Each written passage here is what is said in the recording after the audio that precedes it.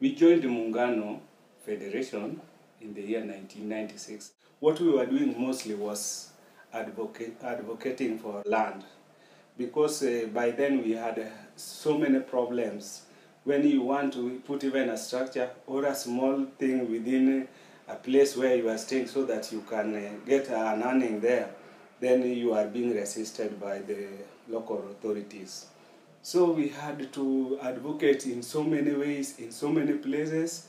Uh, we went as far as going to other areas uh, like uh, Kahawa, Soweto, and so and, and Kamai.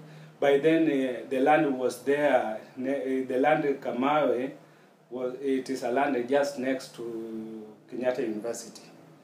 That land was having a very big problem, and there was always uh, a fracas. People were, we were being dragged by some uh, land grabbers. So we had to go there and uh, defend uh, our members from being uh, grabbed.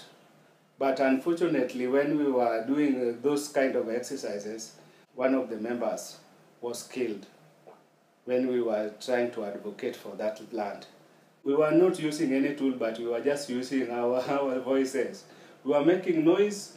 We could run here and there saying whatever we can say about somebody so that you leave us in peace. So, in fact, we were doing this when, when the, the lady was uh, gunned down by one of the policemen. Then, we, in fact, it, it took us time to think what we, can, we could do.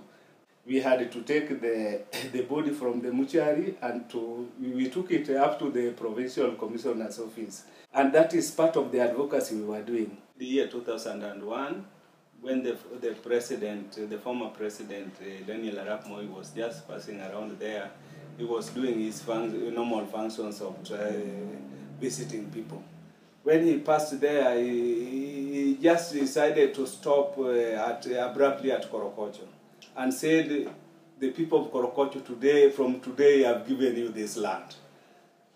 And everybody was very happy because all these things, we, even, even if the president said that, advocacy that we did as uh, the federation is the is the main uh, in, fact this is that is what brought uh, everything uh, to, in order so that the president could manage to get the members of Korogocho being sustainable. Otherwise there were so many people who are writing letters and doing everything telling us that we should move from there because the land doesn't belong to us